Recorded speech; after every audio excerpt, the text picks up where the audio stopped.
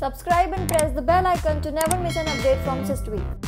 There are many situations that make timely backups impossible, which eventually lead to our important files and photographs being lost in time.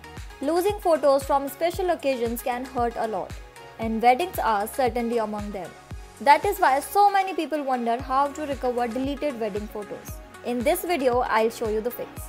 Go to systweak.com slash photos recovery on your Windows computer.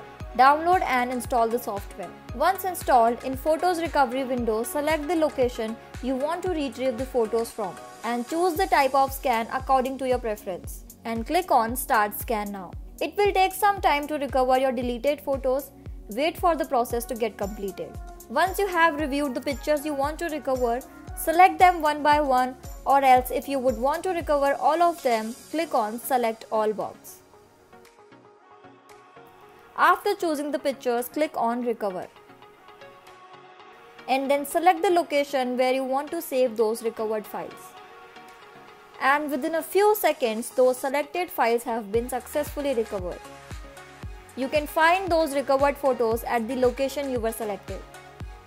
So in case you have lost or deleted your images mistakenly, use the SysTweak Photos Recovery tool and retrieve the files within seconds. Hope you liked the video. If yes, then don't forget to like, share and subscribe to our channel.